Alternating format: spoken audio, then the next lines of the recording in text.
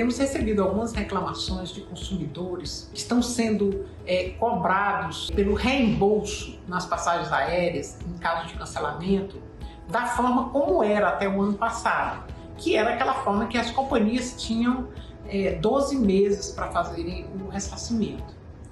Esta lei ela findou em 31 de dezembro de 2021, que era a lei que flexibilizava os direitos dos consumidores, tendo em vista a pandemia.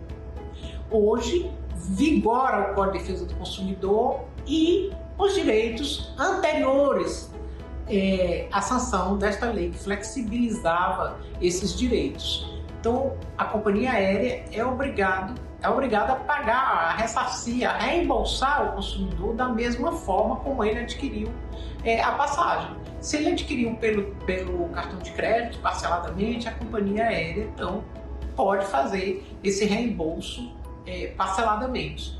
Se foi à vista, a devolução tem que ser em 48 horas após o pedido é, do cancelamento e reembolso. Lembrando que cada companhia tem a sua norma com relação a este cancelamento, inclusive a cobrança de multa e de juros. O consumidor deve ficar atento antes de adquirir a passagem das normas de cada companhia aérea em casos de cancelamento a pedido do consumidor, em casos é, de no-show, de não comparecimento. Então, cada companhia tem a sua política. O consumidor deve estar atento a esta política sem, contudo, aceitar qualquer argumento que, que faça referência a leis que foram flexibilizando o direito do consumidor por causa da pandemia. Porque essas leis é, ou portarias que sejam, elas não existem mais, não prevalecem, não prevalecem mais. Prevalece